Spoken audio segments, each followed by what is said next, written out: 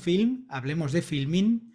Hoy tenemos visita, hoy tenemos día especial, un día de lujo. Ya lo he estado diciendo en el grupo, que hoy es un día de lujo, pero además, vamos, con todas las letras. Tenemos a Mercé, que Mercé no es sorpresa, suele venir a los cineforums y, y, es de lujo también, claro que sí. Oh, no, no tanto. Sí, hombre, como cargo, hombre, hombre que no. Mercé, muy buenas tardes. Hola, buenas tardes. Bueno, y Mercé es guionista y... Ah, no, ahora ya me mira con cara rara. No, pero Mercé tiene muchos amigos, tiene muchas amistades y, amistades muy chulas y muy bonitas. Y, hoy no, no, bueno, ella me dijo, ¿te puedo, mm, puedo hablar con alguien? Digo, ay, ¿con quién puedes hablar, Merced? Cuéntame, cuéntame. Bueno, no, que como hace pocos días pues fue el aniversario de este suceso de, de la muerte de Salvador Puchantik y salió algo en el grupo y tal, pues pensé, bueno, pues ah, yo pues conozco a Luis desde que éramos bastante jóvenes, hace cuatro días, y entonces pues ah, se, lo, se, lo, podía pedir, ¿no? Y, eso hice, se lo, bueno, en el grupo dijeron que sí, que, que, estaba muy bien la idea de que justamente por estas fechas que es el aniversario, pues poder hablar de esta película y poder hablar con la persona pues que, que escribió el guion y que además pues ah, fue pues premiado con un Goya al mejor guion adaptado y así pues eh, así nos encontramos hoy aquí es por, esta, por este motivo. Luis, muy buenas. Hola, buenas, ¿qué tal? Bueno, Luis Alcarazo, eh, premiado, como ha dicho Merced, a Goya Mejor Guión Adaptado. ¿Cómo, ¿Cómo se siente eso? Bueno, pues fue un día muy, muy especial, un día curioso porque llegamos con 11 nominaciones a, a los Goya del 2007, creo que era.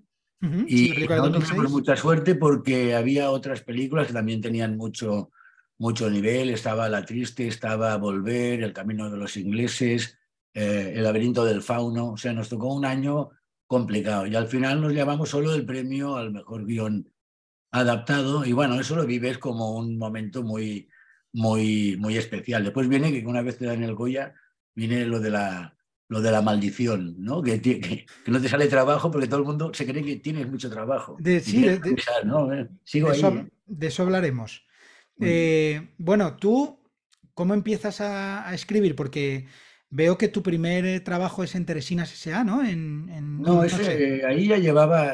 Ahí llevabas tiempo. Mi trabajo fue en el año, ahora voy a quedar muy, muy, muy mayor, porque fue en el año 84, escribí mi primer guion, eh, yo, había, yo escribía un poco, escribía, eh, bueno, pues relatos y, poesía, y, mis amigos pensaban que era un, tipo que escribía bien. Y entonces eh, estaban buscando guionistas para TV3, porque era, y era una época donde no había guionistas, nadie sabía exactamente cómo se escribía. Bueno, 84 acabaría de empezar TV3, ¿no? Empezó, cuando acababa de empezar, acababa de empezar, en el 84 empezó, y y bueno, mm, me vino a ver, yo, vendía libros de viejo en, el mercado de Sant Antonio, y me vino a ver un, amigo y me dijo, oye, que están buscando guionistas, ¿ves a ver a este hombre? ¿Eh? Y era Ches Barceló, que es el padre de toda una generación de guionistas catalanes, que es un hombre que ha muerto hace, unos meses y que realmente ha sido muy importante para el audiovisual en Cataluña. Y este hombre me encargó un guion de un minuto sobre, León, sobre un libro de Tolstoy. Y yo creo que nunca he sudado más tinta para escribir una página que, que ese día. Bueno, y ese fue mi primer, eh, mi primer guion y me costó mucho que me lo compraran, me pagaron una miseria, como es normal, era un guion de un minuto sobre un libro. Pero bueno, descubrí una cosa que es, ves por la tele algo que has escrito y te enamoras del, del oficio. Y así fue como empecé. Después ya escribí muchos programas de televisión, después empecé con los dramáticos y en los dramáticos es donde he acabado encontrando, digamos, mi hábitat. Eh, yo, quiero decir que cuando conocí a, Luis, que estábamos en el Ateneo Libertari, que él ya de entonces era un reconocido narrador de, de, historias, inventor, siempre tenía una nube densa de amigos a su alrededor, esperando que contara algo, que se inventara algo, que además lo explicaba y lo escenificaba. Que a veces, pues bueno, bueno, ya no explico muchas anécdotas, pero, pero que era, bueno, que a nosotros, a nadie nos sorprendió que eh, acabara como guionista y porque es que verdaderamente es que desde que era pequeño, que es que, es que explicaba muy bien y narraba muy bien y creaba una atmósfera de misterio y de suspense que estábamos todos ahí esperando a ver, a ver, a ver qué pasará. Pero esto la culpa es de mis, la culpa es de mis tíos, mis tíos eran, eran sastres y toda la familia, pues en un piso allí del Raval, pues se pasaban el día cosiendo, oyendo la radio y explicándose películas, que era la manera de pasar el, el rato. Yo pasaba muchos, muchos ratos en casa de mis tíos por cuestiones de, del trabajo de mis padres y eso. Y yo creo que ahí es donde me quedé con la cosa de, contar historias, porque eran personas muy sencillas, muy, muy normales, pero tenían una gran capacidad para captar tu atención y explicarte lo que ahora llamamos el tratamiento de un guion, es una peli contada antes de que se ruede. Pues ellos te la contaban después de que la habían visto y todo el mundo estaba ahí siempre pendiente. Y un poco yo creo que me viene de ahí la cosa. Qué bueno. ¿Eras cinéfilo? Bueno, es que antes el cine ocupaba un lugar muy especial en la vida de todas las, las, personas y yo creo que iba al cine como mínimo dos veces por semana a ver sesión doble. Yo creo que una peli de estreno, hasta que no tuve 14 años o así, nunca, la, nunca había visto una peli de estreno. Siempre íbamos a ver qué echan. Y entonces veías de todo, de pelis de terror, veías melodramas, veías comedias, veías pelis buenísimas y un western súper super barato al mismo tiempo, pero era una cosa muy divertida. Es un tipo de cine que ya ha, ha desaparecido y bueno, ahora ya está sustituido por las plataformas y todo eso. Pero antiguamente, como no existía nada de todo eso, la gente iba al cine por, pues por defecto y diría que sí, bueno, que amaba el cine. Tengo aquí escrito que tu primer largometraje es Un player indescriptible, que es del 91. Bueno, he intentado ocultar. aquí sale todo. pero veo Que, no he podido. de todas formas, eso te iba a decir, porque es una peli que, que la buscan Film Affinity, solo la han visto 80 personas, no hay ninguna puntuación, no sabemos nada. Que, no corra, que no corra. Sí, sí, es una peli que, escribí con Joan Maremón, que realmente es un, es un tipo muy sabio, un gran teórico del montaje y un, y un muy buen guionista.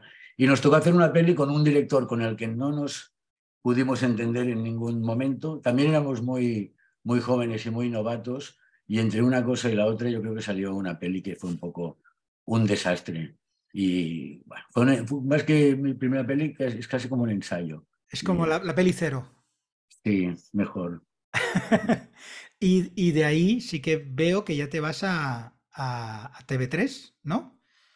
Sí, yo, o sea, yo durante mucho tiempo fui un guionista de programas de televisión. He trabajado pues con la, con la trinca, con, con programas infantiles, programas muy gamberros para, para jóvenes. Y eso ha sido un poco... ¿Qué, ¿qué, programas? ¿Qué programas? Pues bueno, programas de TV3 que en el resto del estado pues no, Es que yo en esa época veía TV3, que era cuando dejaban... Para, niños hicimos uno que era Matraca, ¿no? Matraca, no, madre mía. Y siempre digo, creo que es lo mejor que, he hecho nunca. Y era un programa muy, muy gamberro que consiguió eh, con cuatro programas tener en contra a todo el mundo. Desde los sectores más reaccionarios a los más es que TV3 tuvo una época, finales de los 80, principios de los, sobre todo finales de los 80, que incluso los programas infantiles eran muy cañeros. También es verdad que en televisión española también, con la bola de cristal, ¿no? Pero, eran muy cañeros. Bueno, TV3 en los años 80 la media de edad no llegaba a los 30 años. Y, entonces la mayoría de la gente pues tenía entre 25 y 30 años. Y el espíritu con que nació pues era muy no diré transgresor, pero sí que era muy moderno, muy abierto a experimentar narrativa. Y en esa época yo creo que fue probablemente la, mejor televisión pública que había en, el Estado, la más atrevida. Después ha ido envejeciendo un poco y yo creo que todavía sigue siendo una buena televisión, pero ha perdido eso que tenía antes. Yo recuerdo una serie que es que no me acuerdo el nombre. Era como una especie de aventurero, no sé qué, Johnson, no sé qué. Arcadi, no, ostras, no me acuerdo. Sí, sí, yo tampoco me acuerdo, pero sí que. Y, era, y era súper loca. Y Oliana Mons. Sí, muy bien. Eso era. Era como una parodia de Indiana Jones, pero con unos fines educativos y... Pero, pero eran series loquísimas, vamos, yo, yo lo recuerdo como que... Pero estaba genial. Mm. Aurelio dice que en la época de Plastic, Plastic, va que Plastic. Plastic estaba en televisión española, Sí, había, había un plástico era, sí, con con el Tine Rubira. David Vallés y... El Tine y- Rubira, ¿no? Estaba ahí. Tine Rubira, que ahora es el director de, de, de MOL, o sea, Sí, sí, sí. Jazz Músico. o sea, Toda esa gente que hacía televisión, ¿no? Como los, los de la trinca que, bueno, se han hecho de Sí. oro también. Bueno, quiero decir, yo, yo creo, yo estuve como dos o tres años trabajando con ellos haciendo un tipo de programas muy, muy de espectáculo. Pero yo siempre digo que fue- yo ahí aprendí muchísimo. Claro. Eran unas personas que le cuidaban mucho el, el, el producto que hacían.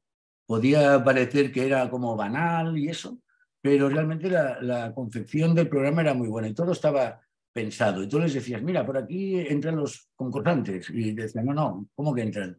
¿Cómo entran?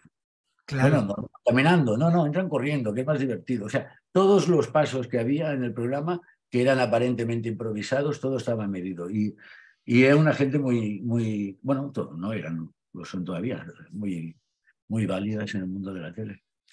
Has escrito en Poble Nou, Secrets de Familia, ni Saga de Poder, que los que veíamos TV3 en aquella época, pues han sido series que han acompañado du- durante mucho tiempo y que han sido muy importantes. Aún eh, ni Saga de Poder se sigue hablando de ella, eh, El Cor de la Ciutat, todo esto.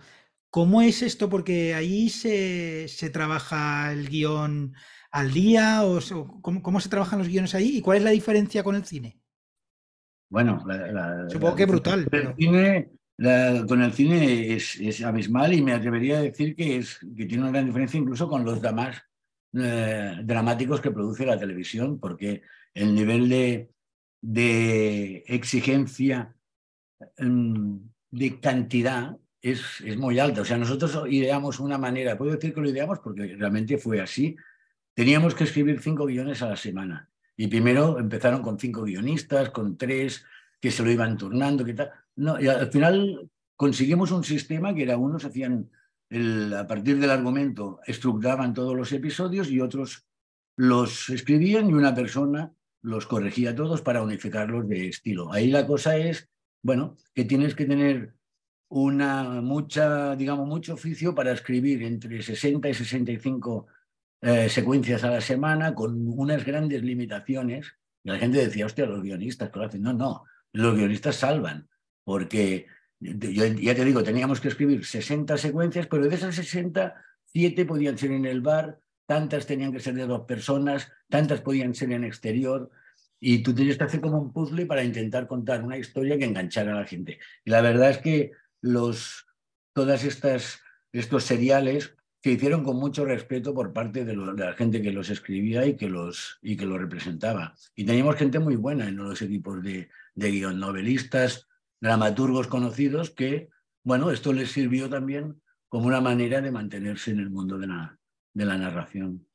Creo que escribiste Laia también con María Jaén, justamente. Sí, yo con María trabajo, trabajo desde hace muchos años eh, eh, esporádicamente, pero de manera seguida. Y nos, una- uno de los trabajos fue hacer una adaptación de Laia, de, de Espriu, y la verdad es que, bueno, fue un, fue un trabajo muy agradable porque le encontramos enseguida el punto de vista, la manera como íbamos a entrar en la historia, y no, mm, al productor le gustó y el guion funcionó muy bien eh, y entonces eh, fue un trabajo que lo, lo tengo muy, muy, con un recuerdo muy bueno, porque bueno, era un, era un thriller ambientado en un, en un pequeño pueblo de, de la costa, que parece un drama rural, pero tiene muchos elementos de thriller, de películas como Perdición, ¿no? o el, el cartero siempre llama dos veces y cosas de estas.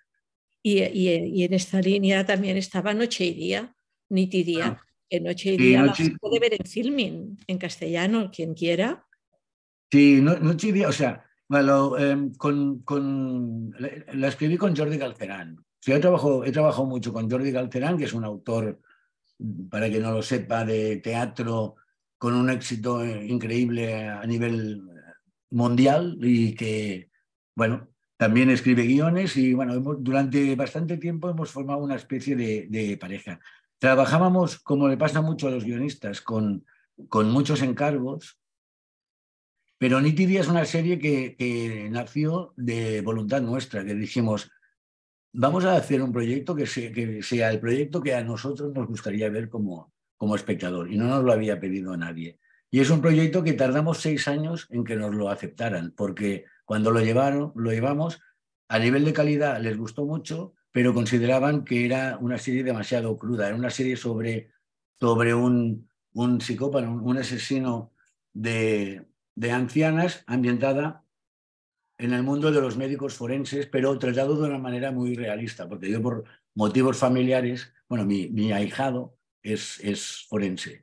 Y siempre me, me comentaba que historias como CSI y esto no, se parecía en nada a lo que era su trabajo. Y a partir de cosas que me había contado mi, mi, sobrino ahijado, eh, con Jordi empezamos a trabajar una, una serie que realmente recibió muy, muy buenas críticas, que, que estuvo muy bien, muy bien hecha porque teníamos un equipo que era buenísimo, que teníamos a Oriol Paulo, que ahora sí. está por todas partes. Teníamos a Manel Huerga también trabajando con nosotros. Oriol Paulo, de los renglones torcidos. Exacto. Y después pudimos tener un casting increíble, porque, no sé, incluso yo creo que se creó un pequeño fenómeno que empezó a correr, que la serie estaba muy bien y todos los actores querían salir. Y Qué bueno. con eso tuvimos mucha suerte. Y eso que cuentas que nos has contado al principio de la maldición de los Goya, eh, porque claro, uno piensa, ¿vale? Te dan un premio, eso debe significar que de repente te viene trabajo por todas partes, que vas a tener que decir, y según me cuentas, según nos cuentas, como que la gente piensa eso, pero luego no... Sí, yo, yo no tuve mucho problema porque inmediatamente, como Salvador la hicimos con, con MediaPro y la relación realmente fue, fue muy, bien, muy buena, yo enseguida enganché un par de documentales con, con MediaPro 1 sobre Luis sí, y los hechos de Vitoria, la revolta permanente, y estaba en contacto con ellos. Y, bueno, y entonces ellos al cabo de, de, unos meses ya me propusieron, quédate a trabajar con nosotros, y yo, fui un caso un poco atípico, o ahora ya no tanto, pero porque yo era un guionista en, en nómina de una, de una productora grande, y entonces estoy ahí pues para, para a veces para generar proyectos o para escribir proyectos que ellos me, encargan.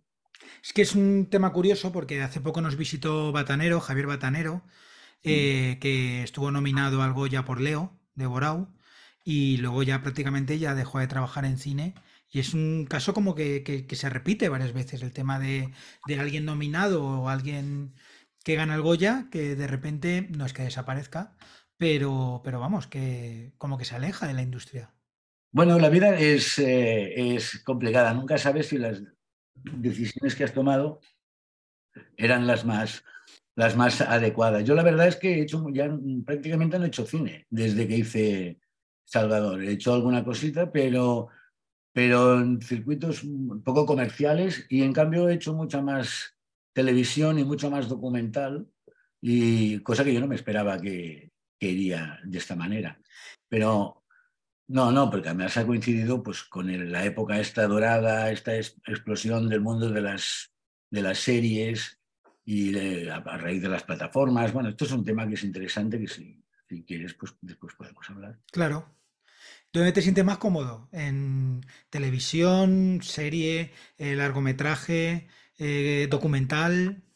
Mira, tengo un amigo guionista, eh, Piti Español, que él dice, que el teatro es de los actores el cine es de los directores, pero la televisión es de los guionistas. Y entonces yo me, yo me siento, me siento mucho más a gusto trabajando en televisión porque tú estás mucho más cerca del, del, producto y, si, y te permite incluso el tipo de narrativa, yo creo que ya me siento, me he acostumbrado mucho y me siento mucho más a gusto explicando una historia por episodios o con cuatro o cinco horas como mínimo por delante, que no la dictadura que a veces hay con, el cine, de que te mueves entre la hora y media y las dos horas y lo que pase de ahí ya peligro. Y ahora, con, bueno, has comentado lo de las plataformas, que es un buen momento para comentar que en principio eso ha ido a favor de, de las series, porque se han puesto muy, muy, muy de moda las series, pero también es verdad que hay tanto, tanta serie que, que también se diluyen. Sí, yo creo que la, el mundo, la, o sea, la aparición de las plataformas y de la televisión por, por cable, eh, dentro de lo que es la historia del audiovisual, es un hecho absolutamente relevante porque cambia la manera como vemos la, televisión ya para, para siempre. Y, y, no solo cambia la manera como la vemos, sino que abre las puertas a un nuevo tipo de producto que hace 10 años o 15 no, no existía, porque todas las teles buscaban público generalista, es decir, series que la pudiera ver desde un niño de 9 años o de 10 hasta su abuela. Por lo tanto, tenía, se movían unos márgenes muy concretos. Cuando llegan las plataformas y el cable y eso, lo que sí que permite, no buscan tanto audiencia concreta de algo, sino que la gente se apunte a la plataforma. Y para que se apunte tiene que encontrar lo que busca. Y eso abre las puertas a que se hagan series pues, como Los Soprano o Breaking Bad, que en una tele generalista difícilmente las podrías, las podrías, las podrías ver. Yo mi punto de vista es que ahora estamos un poco en, una, recesión, en parte por esto que apuntas, de que hay un exceso de oferta y hay una lucha tremenda entre las plataformas para conseguir abonados y, tienen que producir. Y entonces esa competencia ha acabado, yo creo que ha acabado por ser nociva, porque desde mi punto de vista se hacían mejores series hace cinco o seis años que no ahora, porque para asegurarse de que la serie va a gustar, se imponen criterios que son más mainstream, que no nos pasemos. HBO era mucho más atrevida antes que uh -huh. lo que es, con lo que es ahora. Y Netflix, pues es una televisión bastante, bastante conservadora. Yo creo que los guionistas han perdido un poco de poder también. Es la, hasta hace unos años era la época de los grandes eh, showrunners. Bueno, digo grandes showrunners relativamente, pero y ahora yo creo que lo que son los productores ejecutivos han recuperado poder y entonces hay estas cosas. Las series ahora, por ejemplo, todas duran lo mismo. Nos habíamos liberado de la cadena de los 13 episodios, que era un trimestre en una tele generalista, por lo tanto todas las series tenían o 13 o 26, nos pudimos liberar e, de eso y ahora todas las series tienen entre 6 y 8 episodios, porque en alguna parte alguien ha hecho un estudio y ha llegado a la conclusión de que esto es lo que quiere la mayoría pero a lo mejor la historia requiere solo tres episodios o, o, a lo mejor nueve. Pero te hablo ahora de fondo y de tu forma de escribir. ¿Cambia la forma de escribir este cambio de hábito que ha habido con las plataformas? De que ahora las, las series se ven casi de tirón y de repente te ves ocho capítulos, cuando antes había que esperar una semana o a lo mejor al día siguiente es una peli, una, una serie diaria, lo normal era una semana, ¿no? Eh, la típica médico de familia, que la que no viene a todos, había que esperar una semana para que ahora te puedes comer, digamos, una serie de un tirón, que yo creo que por eso la disminución de capítulos, para que la gente los pueda ver y no pierda el interés. Entonces, eso a la, a la hora de escribir cambia. Hombre, yo creo que cuando trabajas con semanales, el, el cliffhanger, el, el continuará, si lo dejas en algún punto, igual tienes que procurar que sea mucho más potente, pero si va a ser consumida de otra, de otra forma, eh, quizá no, no tienes la presión esta y, lo que buscas es que el capítulo en sí mismo tenga una unidad que acabe bien y te abra una puerta al siguiente episodio, pero no necesitas a lo mejor mmm, dejar la acción de tal manera que, que la gente al cabo de una semana dirán, ah, sí, vamos a ver cómo quedó aquello. Una cosa que se ha perdido es el en capítulos anteriores, claro. Bueno, no, no. De hecho, te dan, te dan la opción de pasarlo.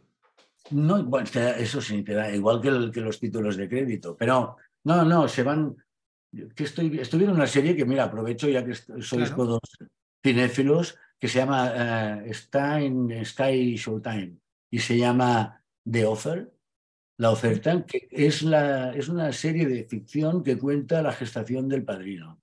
Qué bueno. Y los, los personajes son Coppola, Al Pacino, Marlon Brando, los productores. Y es una, una serie excelente y, y que hace una aproximación a cómo funciona el mundo del cine, no tanto en plan denuncia, sino qué busca cada uno y, cómo se levanta una película, que es realmente interesante. Y ahí hacen eh, en capítulos anteriores también. Buenísimo.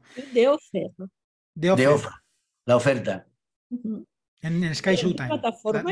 Sky Showtime, la, nueva que han sacado ahora, una nueva ah. plataforma. que Sky ya lo intentó hace un par de años y no le salió. Y ahora se ve que lo vuelve a intentar. Eh, entramos ya con, con Salvador. Eh, y un poco la gestación, de dónde te viene la historia, cómo, cómo la abordas, cómo te documentas. Mira, yo estaba, eh, debía ser el año 2002 o 2003, y yo estaba haciendo una, un serial que se llamaba El Cor de la Ciudad, que estaba funcionando muy bien, y, me fui a comer un día con eh, Francesc Escribano, que era el director de la, de la tele, y fuimos a comer para hablar de, de que, bueno, que, iba bien y el año que viene lo como haremos, qué tal, no sé qué, vale. Era como un cierre de, de temporada. Y yo me acababa de leer su libro, que era Comta Enrera, Cuenta Atrás, donde contaba la vida de Salvador Puchantí. Y, y, en esa comida, a la hora del postre, cuando ya habíamos hablado todo lo que teníamos que hablar de, de, trabajo, le dije, hostia, me he leído tu, tu libro y ahí hay una película. Y él me dijo, mira, me han comprado los derechos Elías Querejeta que quiere hacer un documental. Y yo le dije, no, no, no, un documental no. Ahí hay material para hacer una película porque hay un personaje que es buenísimo y además una película que se tiene que llamar Salvador. Le dije. Y, me dijo, pues, pues es una pena porque ya no tengo yo los derechos. ¿Qué pasó? Que al cabo de un año, pues se ve que Elías Carejeta se vendió los derechos, se los vendió a Jaume Rouras, que es uno de los de los propietarios en esa época de, de, Media Pro y se ve que le preguntó, ¿quién, quién mira, quiero adaptar eso? Y, Escribano, que era el autor, le dijo, oye, habla con, con Luis Alcarazo. Y recuerdo que yo había tomado una decisión importante en mi vida, que era, después de tres años súper intensos, trabajando 70 horas a la semana, haciendo el core de la ciudad, había decidido que lo dejaba. O sea, y Sí, sí, fue una... Y lo dejaba, y mi primer día de vacaciones me sonó el teléfono y era para decirme, oye, ¿quieres escribir el guion de Salvador? Sí, escribe dos, dos páginas y tráelas de aquí un mes y que se las enseñarás a, a Huerga y a, y a Entonces me pasé un mes de agosto intentando um, atacar un tema que era un tema que yo llevaba muy dentro de, mí, porque como ha dicho, um, como ha dicho Marcé, pues bueno, eh, eh, había estado militando en cosas libertarias y, y, aunque no lo hubiera hecho, la sola figura de Puigdemont tiene un peso mítico desde el punto de vista político-sentimental en Cataluña muy, muy grande. Y era como, un, era como una posibilidad de hacer algo, de escribir algo que conectara mi trabajo con lo que había sido mi vida y mis, ah, mis ah, inquietudes. Y entonces yo me lo tomé como algo muy serio. Después me di cuenta que lo que me pasaba a mí también le pasaba a Jaume Rouras y le pasaba a Manuel Huerga y que le pasaba al, al que hizo Anton, eh, que es el que hizo eh, toda la, dirección artística y a la, y a la de vestuario. Y los, decir, es una película que aún no se había empezado a escribir, pero ya empezó a generar una, una especie de emoción por, por, participar de alguna manera en esa película. Entonces nosotros tuvimos, bueno, yo llevé dos páginas escritas y las páginas les parecieron bien porque empezamos a trabajar. Después, al cabo de un mes, yo recuerdo que cambié de opinión y dije lo que os vendí ya no va. Y porque no se parecían a la peli que, que ahora estamos comentando. Y tenía otra estructura y estaba más más agarrada al libro de, Escribano.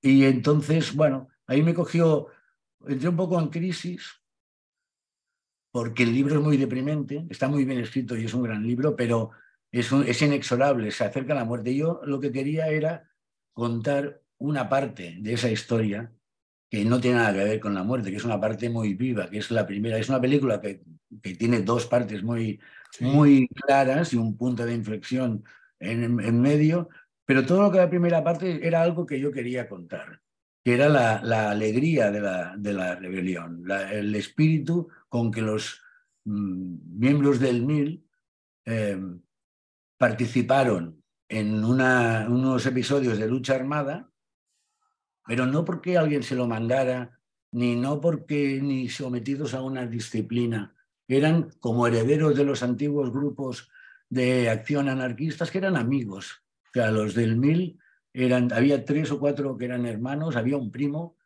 los demás iban a clase en el mismo instituto y, y todo este componente sentimental que los, que los unía, a mí me parecía muy, muy chulo y que tenía un componente también como de western. Y toda la primera parte yo quise mostrar todo el subidón que representaba para ellos sentirse inmortales de alguna manera, sentirse invulnerables, hasta que pasa algo ¿eh? que, tuerce todo, entonces toda, toda, toda esa primera parte de subidón, de explosión de vida, de desafiar una dictadura y salir, y salir invicto, se torna en una, en una gran tragedia. Y, y, entonces la película coge otro tono completamente diferente. Mm, lo que yo siempre quise que, eso fuera así, con, con Huerga y tal, estuvimos de acuerdo en poder explicar. Y tiene dos lenguajes y dos colores muy diferentes, la primera parte y la, y la segunda. ¿no? También tengo que decir que la película duraba una hora más, de la que dura dos horas diez, creo que son. Por ahí sí. Y, y llegó a durar tres horas esta película, porque había muchas cosas que queríamos contar, pero al final se quedaron. Claro, supongo que eso, eso decisión más de dirección o de producción. Veíamos que la película era, demasiado larga. fue algo conjunto. Y estábamos muy, sí, sí, sí, sí, no, no. No, tengo que decir que es un proceso muy, porque normalmente con los guionistas nos pasa que, que haces algo y lo entregas, empieza el rodaje y empiezas a ser, un, un, elemento que, que, estorba un poco y que es más molesto que, que otra cosa. Pero en este caso no fue así para nada. Primero, que Manuel Huerga, que, es un director que escucha muchísimo y que, y que se, deja, se deja influir desde el punto de vista más positivo y Jaume Roura se tomó la película como algo realmente muy, muy personal, porque eran cosas que iban vinculadas a la propia historia de cada uno. Yo estuvo muy encima y recuerdo que entre los tres concretamente, después con participación de más gente, estuvimos muy encima de, toda la película. Y entonces se tomaron decisiones que a, veces a mí, yo, yo hay, una, hay una versión que dura 2.18, que tiene cinco minutos más, que a, a Huelga y a mí nos gustaba, era la que más nos gustaba, pero al final se acabó recortando cinco minutos más y saltaron un par de, de secuencias que siempre yo las he hecho en, las he hecho en, en falta. Eh, dos preguntas más y ya damos paso a, las preguntas de aquí de los asistentes. Eh, ¿Qué secuencias, no? También. ¿Cómo? No, eh, en la hora esta, primero, la peli intenta una cosa que es como complicada, que es explicar un poco también qué, qué tipo de ideas alimentaban al, al, mil y contra qué luchaban. Y, y eso, eso realmente tenían cierta complejidad porque la, composición de este, de este grupo era, estaba muy al margen de todo, o sea, estaba al margen incluso del, del anarquismo casi. Era un grupo que había vivido del, situacionismo, del, de, de, los movimientos de autonomía obrera, también del anarquismo, de los exiliados. Era complejo y era tan extremadamente crítico que no tenían ningún aliado, nadie los, los eh, como se vio después, nadie movió un, un dedo por ellos porque no, estaban como, como al margen de, de todo esto. Y se me ha ido el salto al cielo y no sé lo que, lo que estaba diciendo. Las dos secuencias de la película. Ah, sí, entonces yo, eh, esto es una parte, pero otra cosa que está en la película y que ahora queda más acentuada las dos partes es que se contaba un poco más la relación que tenía Salvador con su familia. Y entonces, incluso hay un momento en que se veía la muerte de, su madre. Porque Salvador hace una cosa, que él se salta la clandestinidad, ya están en la clandestinidad, se la salta para poder ver a su madre que tiene leucemia y tal. Y entonces había una escena que a mí me gustaba, que era que estaban en un piso clandestino y entonces uno de los franceses llegaba, pensaba que se encontraría con Salvador, esto eh, eh, parece que, funciona así, mm, pero no lo ve. Y entonces se asusta, deja la, la comida que acaba de comprar y de la misma bolsa saca una pistola. Y entonces avanza por el pasillo con la pistola y en, en una habitación está Salvador y está llorando. Y entonces le cuenta que su madre se acaba de morir. Y el, el, que lleva la pistola deja la pistola de lado y lo, y lo abraza. Y un poco, habían algún tipo de secuencias que iban en este sentido, donde, digamos, la vida familiar o la vida eh, sentimental colisionaba a veces con lo que era la, la propia dinámica de un grupo que, duró muy poco tiempo, hizo muy pocas acciones, estaba muy sobredimensionado y que se convirtió un poco en una cabeza de, de turco. Lo que te iba a preguntar, eh, ¿hasta, ¿hasta dónde llega tu aportación? Quiero decir, por ejemplo, en una escena que me impactó bastante, que es cuando avisan a la familia que, que está condenado a muerte, está sonando en la tele Peret, está sonando la, una que creo que además cuando está hablando y le están diciendo pena de muerte, se oye de nada, de nada, no me importa nada o algo así dice la canción. Eso es fruto... ¿Cómo? No, no, esa es la canción, esa, es la, esa canción, eso se emitió esa noche y esa es la canción que representó a España en el Festival de Eurovisión eh, un mes más tarde y, y quedó muy mal, la, no, no, no, lógicamente, porque, sí. porque hubo una gran repulsa a nivel europeo formalmente a lo que era el régimen. El régimen había enviado una cosa, con todos mis respetos para Peret, al que, que me encanta, pero en ese momento la letra no, no, no, pegaba mucho. No, todo lo que tengo que decir que, que la peli está incluso sobredocumentada y que nosotros estuvimos muchos meses yendo a cenar pues una vez a la semana o cada diez días con personas que eran personajes que salían en la película. Fuimos, nos vimos pues con todos los miembros de la, de la, de, del grupo, ¿eh? con Oriol Soles Sureños no, porque murió uh, a cabo de, dos años en la fuga del penal de Segovia, pero con Ignasi Solé, con Jordi Solé, con, eh, con Xavier Garriga, con Pons Llobet, con todos estos, con, todas estas personas, con las hermanas, con el, con el cura, que fue la última persona que habló con, con él, con, con, el abogado no pudimos porque murió curiosamente el mismo día que Puchantik al cabo de unos años. Bueno, con, con el doctor que lo, que lo reconoció en el clínico, con Margalida, con Monse Plaza, con su, la que fue su novia, con todos ellos y, fuimos haciendo pues un, un retrato del personaje que llegó a ser un punto en que sabías tantas cosas del personaje, sabías más cosas de Puchantí que de, que de tu hermano, ¿sabes? Porque habíamos entrado mucho en la, en la vida. Yo me inventé una cosa que era la manera como conocía a Margalida en la película, que hicimos una reproducción muy fidedigna de lo que fue el Celeste, que era un local mítico de la, de la época, y, y, la manera como él conoció a Margalida no me convenía dramáticamente porque no tenía mucho interés, y yo sabía que ellos, eh, porque estaba documentado, que ellos se saltaban, la, se saltaban la clandestinidad para ir al Celeste a escuchar música, y entonces junté las dos ideas. Bueno, van al Celeste, van vestidos con traje y corbata, la gente se cree que son secretas, y allí él conoce a una chica que es Margalida. Después, lo que ya pasa después, eh, está recreado. Esa parte sentimental sí que es recreada, pero incluso lo que está viendo el padre el día que les comunican que se, que se ha firmado la sentencia de muerte, pues es el combate de King Roman contra, contra Urtain, que se contraprogramó y se puso esa noche. Y me pareció que también era un elemento icónico que era, era muy chulo, ¿no? que nos remitía pues, a las dos Españas y a Goya y cosas de estas. ¿Tú estuviste presente en el rodaje? Estuve bastante, bastante presente, pero eh, podía haber estado más porque me sentí siempre muy bien, muy bien tratado, pero también digo decir que fue un rodaje que creo que fueron 13 semanas, fue muy largo el, el rodaje. Y entonces hubo, yo recuerdo que, que, estaban rodando en agosto y yo estaba, me, estaba de vacaciones y que mi mujer me miró y me dijo, vete, vete.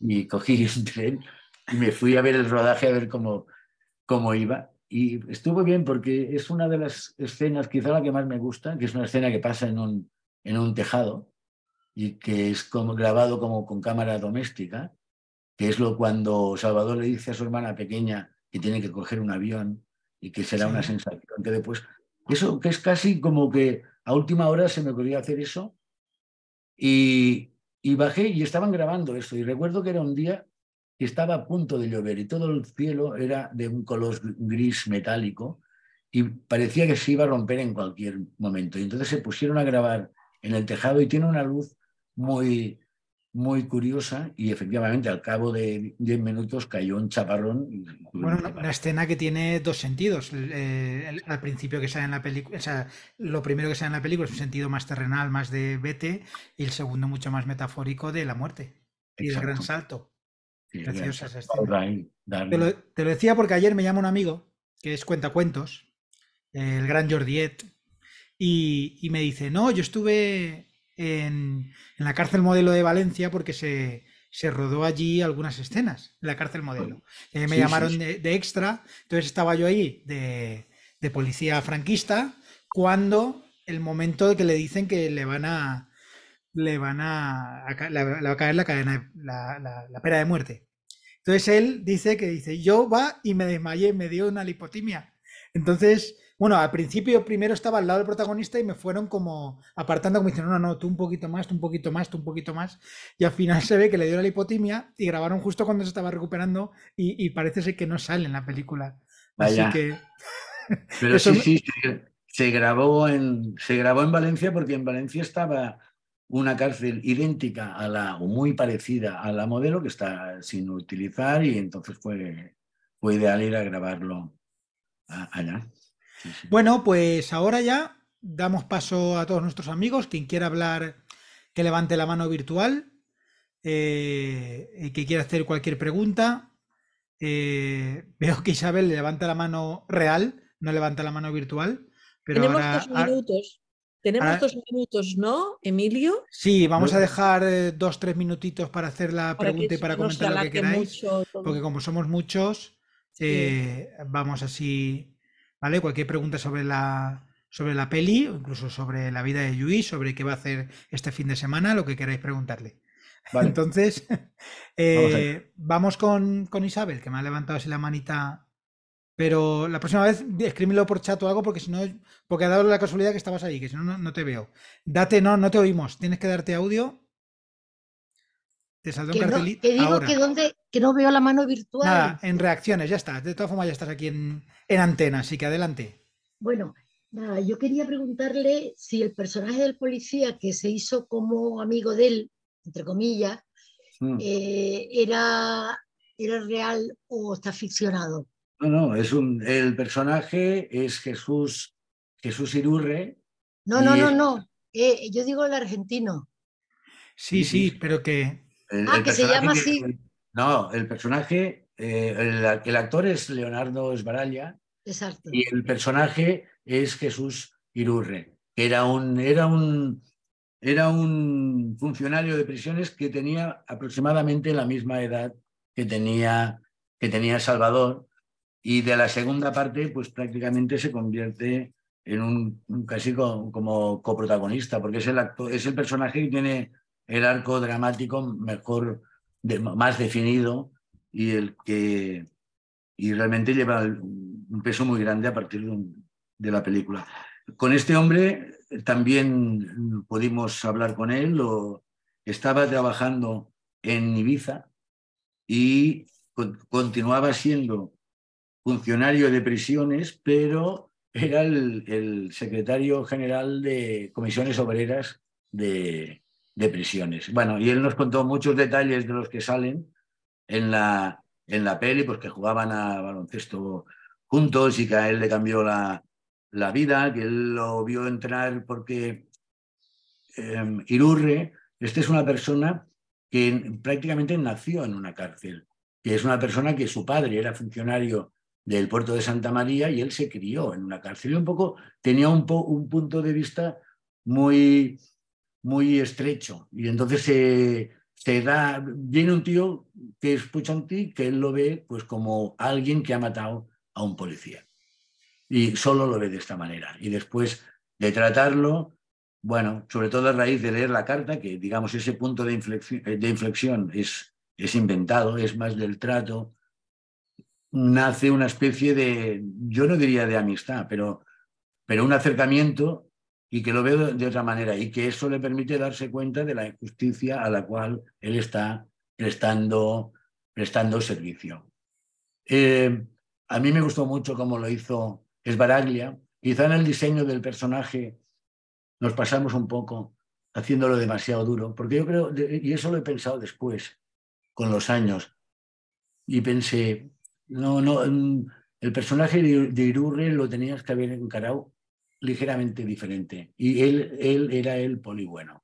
No hacerlo tan duro al principio, sino como alguien que sencillamente te quiere ganar la confianza de un preso para que el preso le cuente si tiene planes para escaparse o si sus amigos y sacar la información y curiosamente queda atrapado porque el otro, bueno, pues es una persona que, que tiene una base muy, muy noble y entonces de, por proximidad de edad y de, y, de lo que está pasando, pues acaban siendo amigos. Muy Pero sí, las cosas que se cuentan son tiernas. Gracias Isabel. Seguimos, vamos con Eva. Hola Luis, para mí fue un peliculón cuando la estrenaron y, siempre me pregunté cómo llegaron a Daniel Brun o cómo vos escribiendo si ya tenías pensado qué actor podía encarnar este personaje, bueno, tan.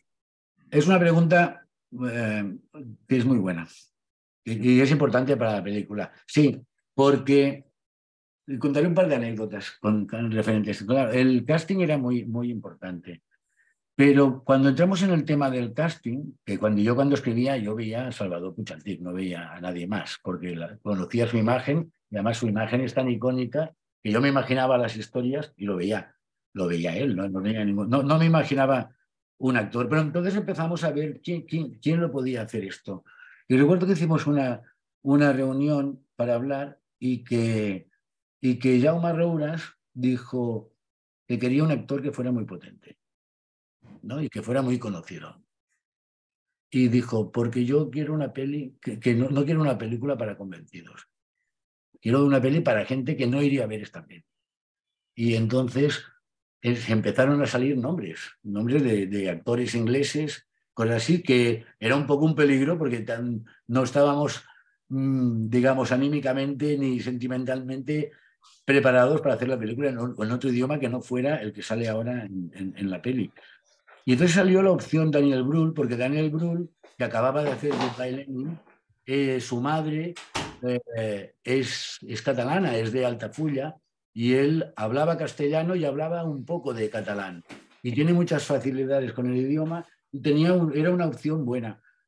Y entonces, con este afán de buscar alguien que llevara al cine gente que no iría a ver la peli sobre una, sobre una justicia en el franquismo, nos llevó a Daniel Brühl. Y la verdad es que Daniel Brühl ya llegó familiarizado también con el tema, porque cuando lo dijo en su casa, su madre pues le dijo, hostia, ti, ¿qué tal? Y llegó como, como con mucho respeto hacia, hacia el personaje.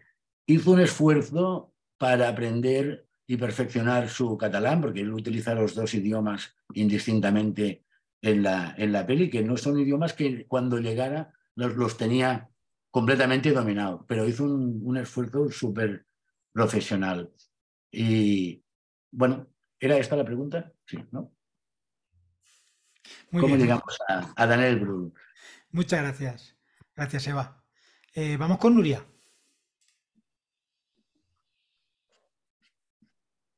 Bueno, es, es Albert. Bueno, pues vamos con Albert. Bueno, pues yo primero voy a felicitar a, Luis por esta película porque yo no la había visto, la hemos visto ahora hace poco y me parece magnífica en todos sentidos. en contenido y en forma también. ¿no? Manuel Huerga creo que es, que es un director muy bueno, que tiene un concepto de imagen muy, muy interesante, que hizo mucha cosa de televisión muy interesante. Que por cierto, con Luis tenemos un, amigo común, que es Enrique Gumá.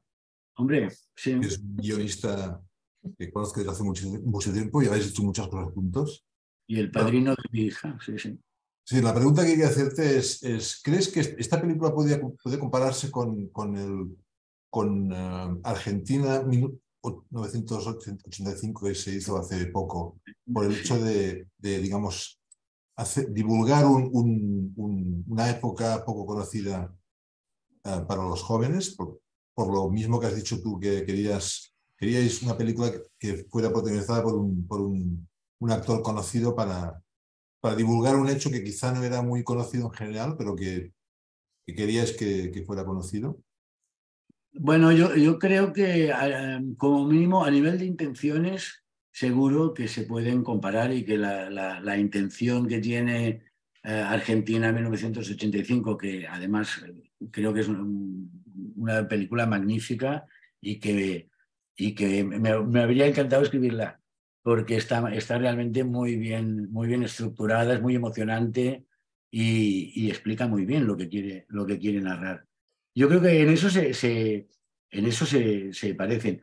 Eh, en el resto no, porque nuestra eh, Salvador, ya para, para, empezar ya es eso, que tiene como dos partes tan diferentes que son como dos, dos pelis y en la primera y en la primera parte una cosa que quiso hacer Manel Huerga que era eh, toda esta, toda esta gente estaba como muy influenciada, decía antes, por el situacionismo y por el mundo este de los cómics, por la música, por el pop. Ellos, parte de lo que, de lo que conseguían en una expropiación a un banco, pues mm, se iban a Francia y entonces, claro, allí habían discos que aquí no teníamos. Y entonces ellos se compraban los discos y, y la música formaba parte de toda la movida que ellos estaban llevando, llevando a cabo. Y entonces en la primera parte está muy presente todo este tema de, la música con Jethro Tull, con, con eh, Leonard Cohen, con, que eran los discos, porque nosotros llegamos a saber incluso qué discos tenía, porque nos dijeron, mira, el disco que tenía Salvador, este, este, este, Dijimos, coño, pues vamos a poner eh, Leonard Cohen, vamos a poner eh, esta de, de Tull para, para el atraco, y entonces a la primera parte, Manuel le dio, ya partíamos de que era una narración muy picada Mm, que se acercaba un poquito al documental a veces, con, con, todo muy, muy, muy picado para contar muchas cosas y que debía ir acompañado con un ritmo muy, muy potente y con un tratamiento de la imagen. Entonces en la primera parte hay muchas referencias al mundo del cómic, incluso al mundo de Genovés, creo que es, que hay un momento en que se difumina la imagen y nos lleva a uno de los cuadros famosos de la, de la transición. Y yo creo que se parecen básicamente, básicamente en esto. Es este tipo de cine que intenta contar episodios de la historia y aprovechar la fuerza que tiene el medio para llegar a la, a la gente. Vale más a veces una, la película de Argentina 1985 que, que, que 20 libros, ¿no? en el sentido de, de penetración dentro de, la, de, lo que es la, la memoria colectiva. Gracias, Albert. Eh, de, de, Argentina 85, 1985 hicimos Cineforum y lo que nos unas cosas que nos comentaba Gisela, que la he nombrado antes, que es una amiga argentina, profe de universidad, y eh, nos comentaba que, sí, que es una película muy hollywoodiense, Argentina 1985, que podemos decir que no es una película de autor, pero que eso sirve para que llegue el mensaje, sirve para que llegue a las nuevas generaciones, una película que ha estrenado Prime, Prime Video, que por lo tanto es una película que, que, que debe llegar. Entonces es una buen, muy buena forma de, de, llegar, porque, porque tuvo críticas también, tuvo críticas en Argentina de que es una película muy Hollywood, hollywoodiense, muy tal, y, y oye, es que a veces es necesario eso para que lleguen los mensajes. Sí, yo creo que son dos, dos productos muy, muy diferentes. A veces hay películas que tienen que ser... Pero bueno, Costa Gabra escogía a Yves Montand para protagonizar sus, sus pelis, ¿no? Trintiñán o actores muy conocidos porque la voluntad era esta, que no se quede en un cineclub, sino que sea una película que como mínimo te abra una puerta a una historia y que si quieres te interesa, bueno, pues investiga más y lee sobre el tema y habla con la, con la gente, y, pero es una puerta para decirme, más o menos creemos que esto fue así. Y eso yo creo que es, que es importante no, no, que llegue al máximo público posible. Hoy, no sé si es hoy, que creo que están haciendo esto de la moción de censura eh, con, con, este partido del que usted me habla. Y, y la pregunta es, ¿esta película a día de hoy, si se estrena hoy, hoy, ayer, este año, ¿hubiera tenido la misma eh, repercusión? ¿Hubiera sido mucho más atacada?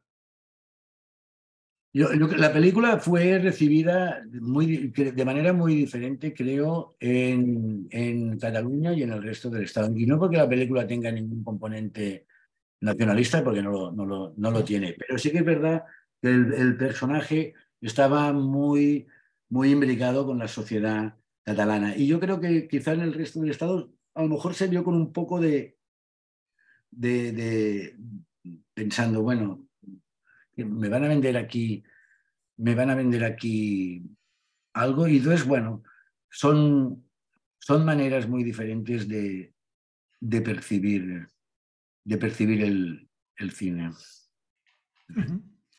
Vamos con, vamos con Belén. Hola. Hola.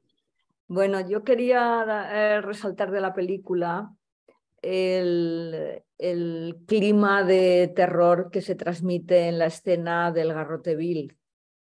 Y quiero decir que yo en esa época vivía en Madrid y aún tengo el recuerdo de, de terror que creaba en la población esas penas de muerte y, creo que el hecho del garrote vil, el, eh, que era un sistema especialmente mm, eh, cruel. Eh, muy como se dice. Bill, como dice. Muy Bill, sí.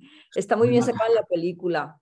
Y también ese, el tema del indulto, es decir, ese terror de la familia era un terror que se extendía al resto de la sociedad. Y yo recuerdo esas, eh, eh, cuando ya pensabas que el régimen no podían ya haber penas de muerte, eh, hubo unas cuantas que creaban ese, eran como los últimos estertores, pero creaban esa sensación de, de terror de la dictadura. Y bueno, está bien recordarlo, hablabais de 1984, de la película argentina, y yo creo que está bien recordarlo para los que hoy, hoy el esperpento ese que hemos vivido en el Parlamento, está bien recordarlo para ver que eso fue real, eh, que Franco firmó muchas condenas a muerte y que el terror a la población se extendía, eh, yo lo recuerdo, yo era jovencita, pero era, eh, a mí me ha puesto los pelos de punta porque me ha conectado directamente con esa época. Sí, eh, yo quiero recordar dos cosas, que es que el, día 2 de marzo eh, mataron a dos personas, no solo mataron a... A, un polaco, a un... A, este respecto, mira, os voy a recomendar un, hay un, si a alguien le interesa el tema, hay un documental que se llama La muerte de nadie, que cuenta la historia de eh, Heinz Chess, que era el otro, que no, era polaco, ni se llamaba Heinz Chess, ah, era, era un alemán y entonces ocultaron su, era de Alemania Oriental, y ocultaron su, su procedencia un poco para no tener ningún tipo de conflicto eh, democrático. Y que un poco lo mataron, los mataron a los dos el mismo día, un poco para decir son dos bandidos. ¿no? Uno había matado a un guardia civil, teóricamente, y el otro ya le quitaron el peso, digamos, político sino la, compartían la foto, que a este respecto es muy revelador la foto que publicó el caso. En el caso se ven las fotos de, que pone ejecutados y se ven a los dos. En el caso de Puchantik la foto es, es, suya. En el caso del otro, con un rotulador le han pintado melenas y le han pintado un bigote para que parezca más malo, porque era un hombre muy aseado, que iba muy bien peinado y que no tenía para nada el aspecto que ellos le querían dar. Entonces esa portada es, vamos, es infame completamente. Sí, para ocultar el, lo político del... Para presentarlos como dos bandidos, básicamente. era, era la idea. Muy bien, muchas gracias, Belén. Bueno, qué terrible la, el, verdugo. Qué terrible por, por, el tema de vengo a hacer mi trabajo y ya está. Me acordé mucho. Bueno, aquí vimos el documental de Queridísimos Verdugos. Y yo creo que recordó mucho ese documental. Y también es que me acordé. Sí. y, me acordé de, del verdugo, de, Berlanga y de cómo el, yerno se resiste a hacer ese papel, pero bueno, es que muy, con un, es un personaje muy, muy, me vas a permitir, muy Luis Cigesiano. O sea, es, que era talmente Luis Ciges, no es, obviamente. yo me quedé muy, muy contento de cómo quedó, bueno, perdón, ¿eh? ya, ya, te entendemos.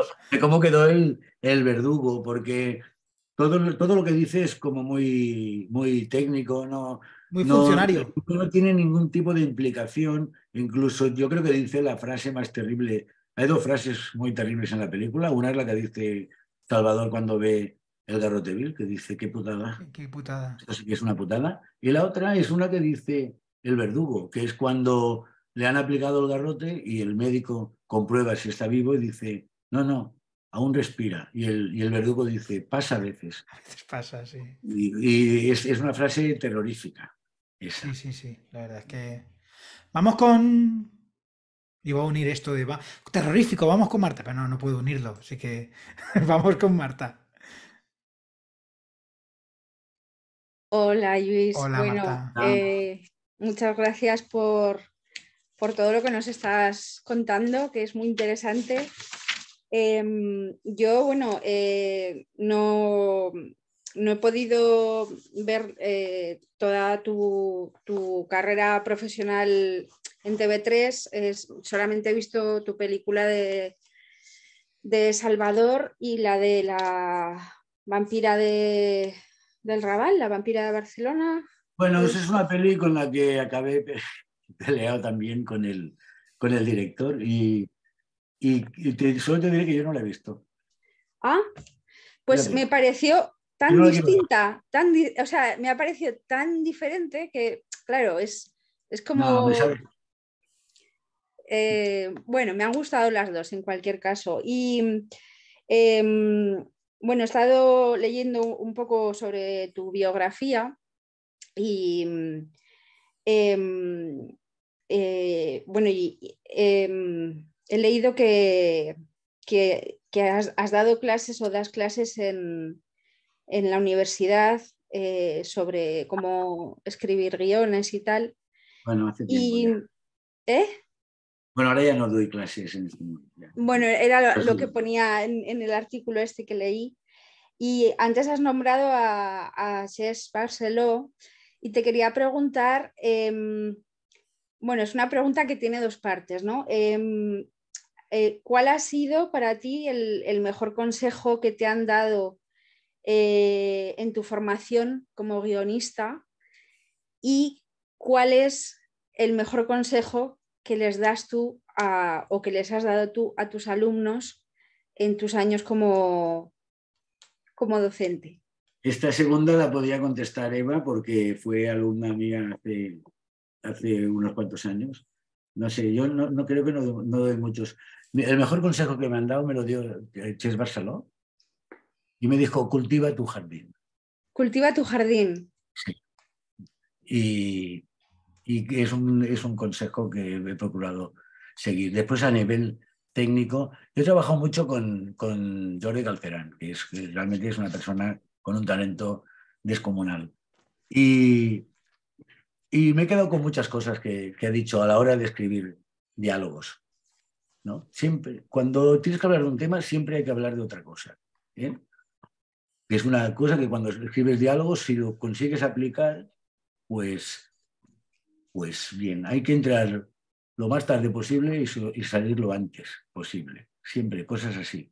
Bueno, son pequeños consejos diarios para afrontar lo que son los, los diálogos, que es una parte muy compleja de, y muy subjetiva y que depende de, muchos factores y a la que te pasas sobre dialogas y entonces, bueno, es un tema que siempre me ha, gustado. Otro consejo que, que, que, me dieron una vez, pero no me lo dieron a mí solo. Fui a ver una, una clase de un gran guionista cubano que es Eliseo Altunaga. Y yo soy muy mal alumno. Voy a las clases y me aburro. Y es verdad. Y, pero bueno, este hombre estaba hablando y tal, y, y entonces de repente dijo, el guion es la estructura. Es la estructura, nada más. Yo nunca he escrito un diálogo en mi vida, dijo en la clase. Lo que hago es sentarme y se me acercan los personajes y me lo soplan al oído. Y entonces lo escribo. Pero el guion es la estructura. Y eso es algo que sí que he procurado aplicar, no siempre con, con éxito. Eh, gracias, Marta. Gracias. Eva, te acaban de interpelar, por lo tanto, ¿cuál es el mejor Eh. consejo que te han dado? ¿Qué te ha dado Luis? La verdad que fue un año muy particular tener a Luis de profe, porque acababa de ser padre, y teníamos las clases muy temprano a la mañana y venía muy cansado porque la bebé no lo dejaba dormir. Así que teníamos primero siempre unos momentos de terapia donde le, le dábamos eh, contención a este padre primerizo. La verdad Era- que eran tres horas de clase. ¿eh? Tres horas, era un montón, Luis. De 8 a 11 de la mañana era un... Pero la verdad que no, no recuerdo nada en particular. Eh, sé que fue de lejos el mejor tutor que tuve en los cuatro años que tuve de carrera y en el, con el que más nos divertimos también, a pesar de ser muy temprano a la mañana. Eh, no sé, no, no, no puedo responderte No, pero yo, yo quiero una cosa que. todos sus comentarios, así que todos nos nutríamos un montón.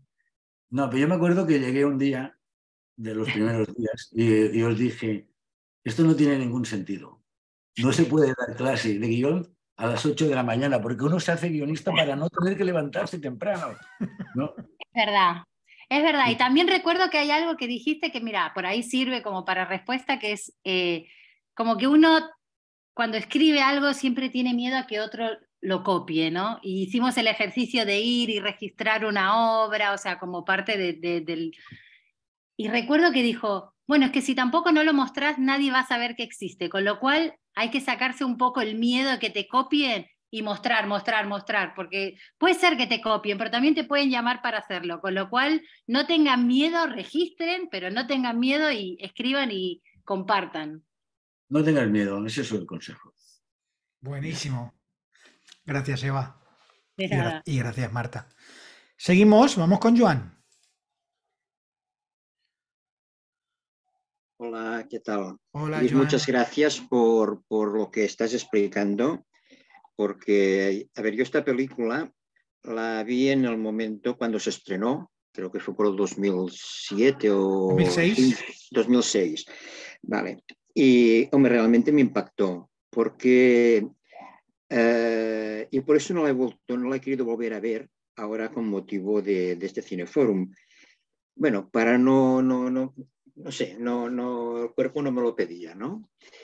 Eh, pero sí que hay una serie de cuestiones, una cuestión que tú has comentado, y es que realmente Puyantic pertenecía a un grupo, el MIL, que no lo conocía. Yo estuve en la, en la universidad, creo que cuando él también estaba, aparte que somos de la misma quinta, eh, pero que yo recuerde, no, no, cuando ocurrió todo el tema este, era un perfecto desconocido en la universidad, porque yo creo que no se implicó en ningún tipo de, de, de movimiento, ni en el sindicato democrático, ni en, ni en otros grupos que habían por allí. Y si hubiésemos hecho una encuesta en aquel momento de que era el 1000, yo creo que hubiese salido casi al 99,9, que no, nadie tenía ni idea de lo que era este movimiento. Eh, esto por una parte.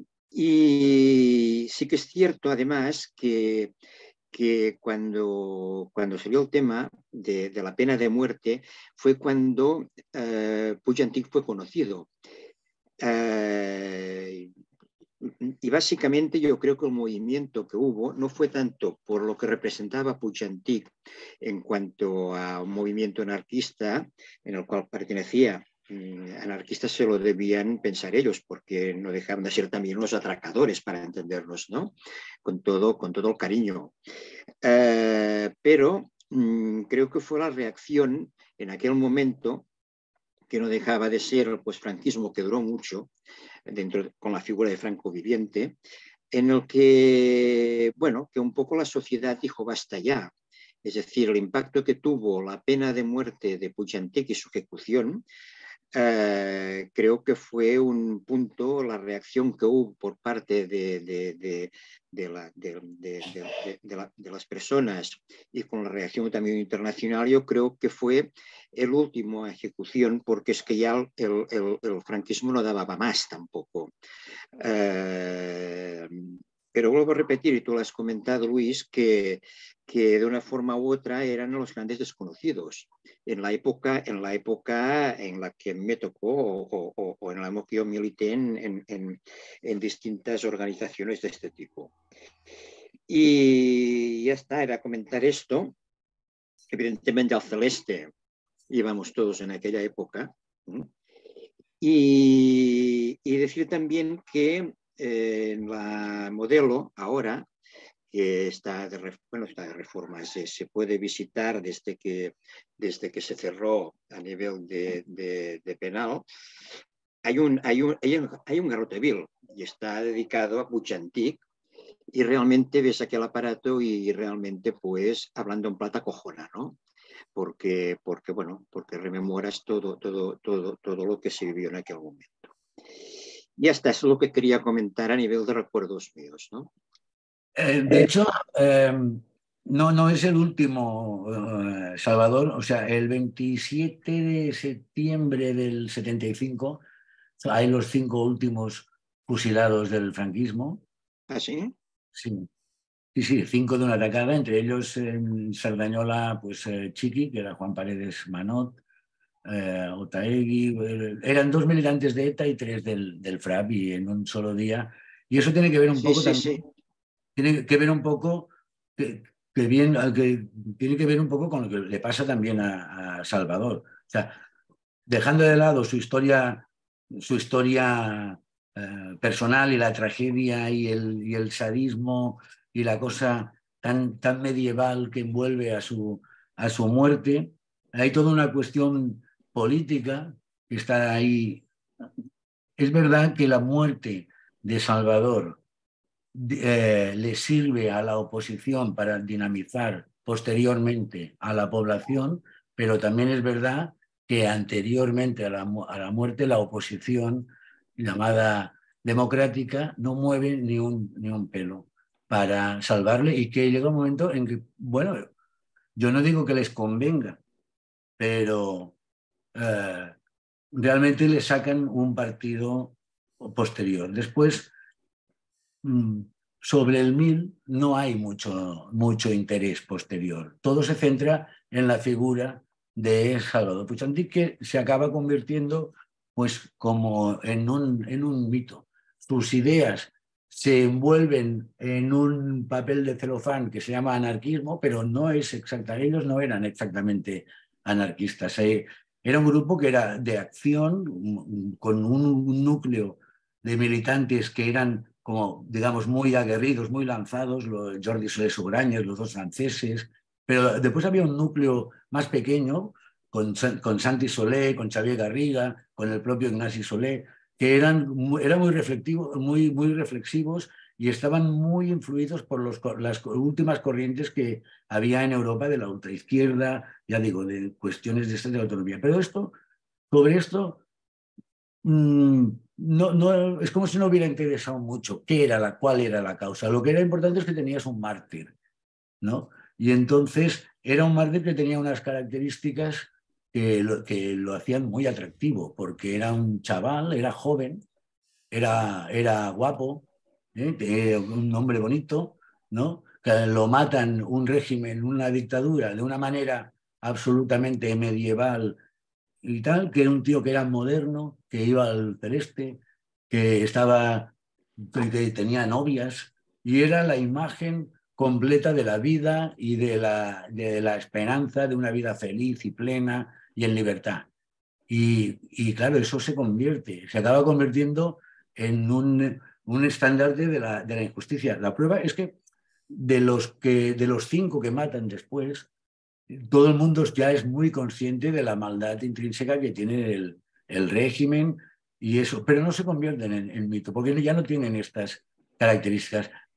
Su muerte es más solapada, son unos aquí, otros allá, de madrugada, mm, sin, sin nadie que, bueno, con, las, con Magda Oranic contando cómo fue lo de Paredes Manot, pero no tiene todo, todo este envoltorio de la película, a veces se habla de la peli como diciendo, no es un alegato contra la pena de muerte. La peli no es un alegato contra la pena de muerte, es un alegato contra el franquismo y contra el tardo franquismo. La pena de muerte no hace falta que le hagamos un, alegato, ya es obvio, pero estamos enseñando un régimen que estamos entrando, que el hombre ya ha llegado a la luna y utiliza un palo ¿eh? para matar a un tío metiéndole un tornillo por, por, las, por las cervicales. A este respecto también digo una cosa que es, eh, si os fijáis en la peli no sale Franco, no sale, porque la idea era transmitir que lo que se llamaba como franquismo, digamos la dictadura, no era una persona, era un estado de cosas y eso que, eso de, Ana Arendt, ¿no? De, hay todas personas que colaboran en el régimen que no son ni buenas ni malas, sencillamente obedecen órdenes, les sabe mal lo que hacen, pero lo acaban haciendo y el resultado pues es una cosa tan trágica como lo que le pasa a Salvador, que es alguien que en dos años pasa del cielo al, al infierno, pasa de sentirse invulnerable y sentirse inmortal y que puede vencer cualquier cosa y que nadie lo va a parar y no hace más que decirlo, en la película lo dice un par de veces, a mí nunca me van a coger, nunca. Y lo cogen y entonces es el reverso. Y era un poco, yo decía que a mí me gustaba pensar que la película, más allá de lo político, era, era sobre el fin de la infancia. Y yo veo al grupo este que tienen muchos elementos, siempre están riendo, siempre están haciendo bromas, siempre están haciendo cosas y a veces parecen un poco unos niños, roban un coche, van a hacer un asalto, se ríen en medio del asalto, que eso es verdad, porque, porque se lían con las palabras y todo es un poco broma, hasta que se dan cuenta que, que la cosa no es broma y que la cosa va, va en serio. Que sí, no, no, y lo que decías de estos cinco en Sardañola ahora me lo has hecho recordar, en cambio eh, ni lo tenía presente sí, sí, es cierto, es decir, que, que además de madrugada y, tal, ¿no? Pero, pero que tiene razón porque yo ni, los, ni, me acordaba de ellos. Y yo creía que era al revés, pero bueno, es que no, no, no los tenía borrados. Sí, sí, es así. ¿eh? Hay una curiosidad, así un poco, así que es que esa noche iban a ejecutar a tres personas y a uno lo indultaron. Y al que lo indultaron, lo indultaron por el apellido, porque se llamaba Antonio Franco. Y yo creo que alguien dijo, no nos interesa un titular que ponga Franco ejecutado. No la liemos. yo creo que eso le salvó el, apellido.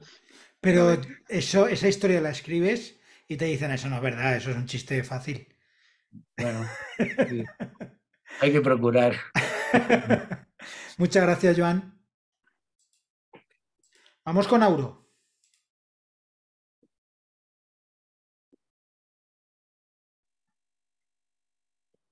Bueno, mi agradecimiento también, ¿eh?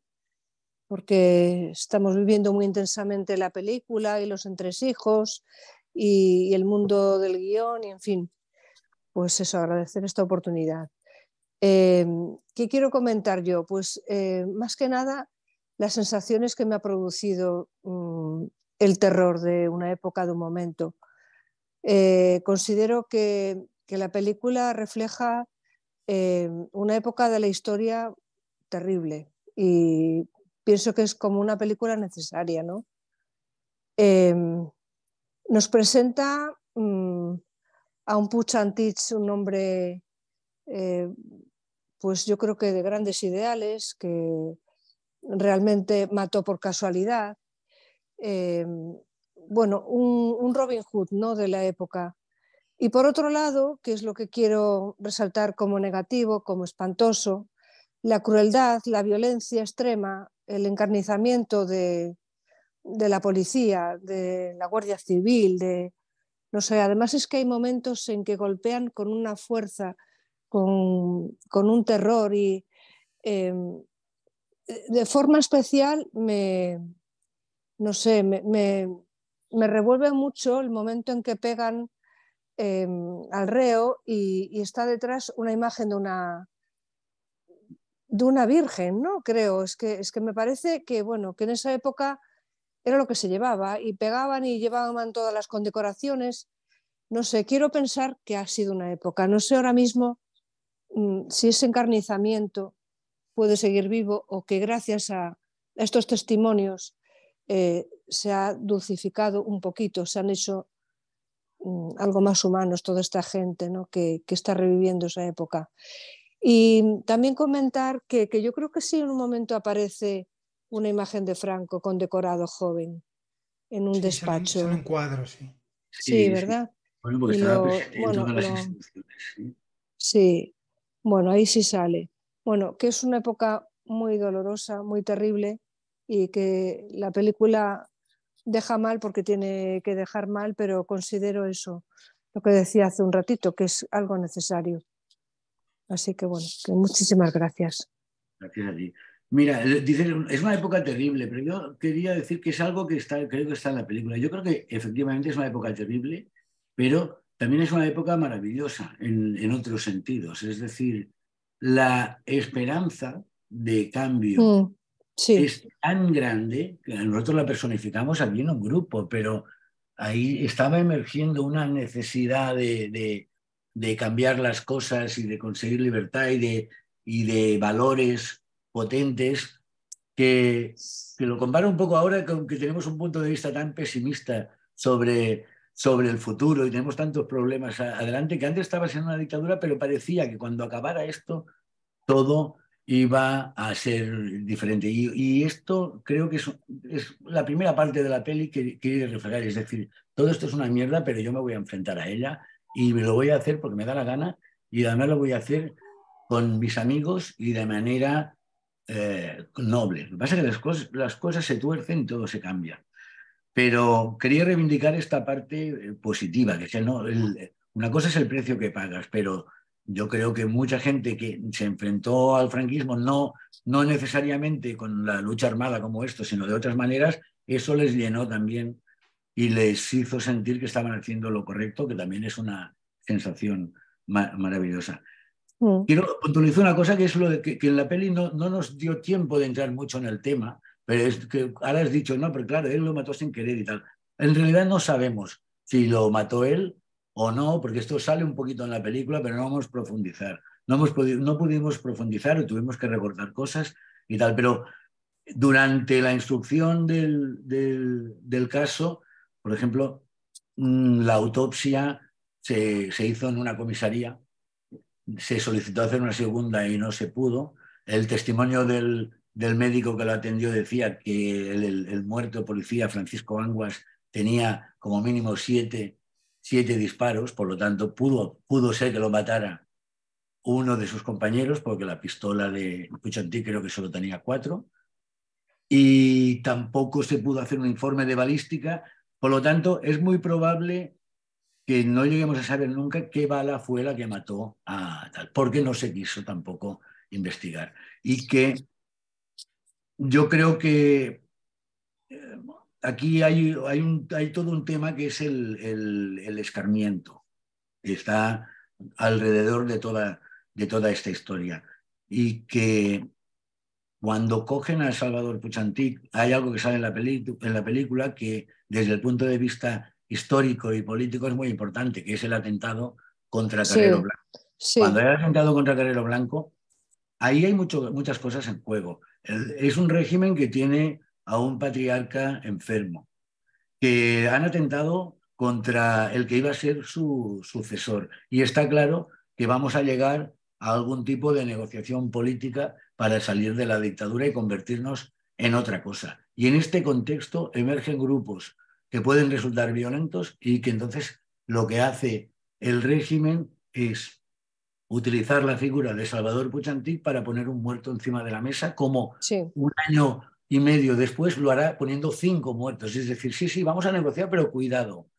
Y podemos llevar las cosas al extremo. Y esto es un tema que está ahí, yo creo que es subyacente en, en la peli. Igual que tampoco, sin poderlo desarrollar, es lo que, insistiendo en lo de antes, el papel de la, de la oposición que fue eh, realmente eh, nulo. Y entonces hay una pequeña venganza personal en la película, que es cuando hay un momento que han cogido en una reunión que se celebró en una iglesia a, los que serán en el futuro los líderes políticos del país y uno de los funcionarios le dice al otro, trátalos bien porque un día vas a trabajar para ellos.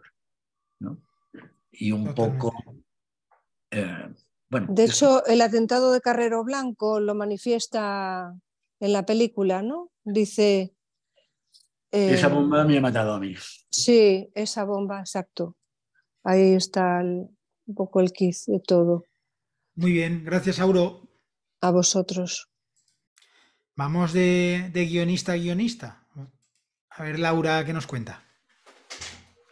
Hola, Luis. Hola, ¿qué tal? Yo principalmente felicitarte por la película y, bueno, yo te querría preguntar qué temas crees que no se han tratado todavía en el cine español y si se han tratado, si quedan nuevos enfoques para tratarlo.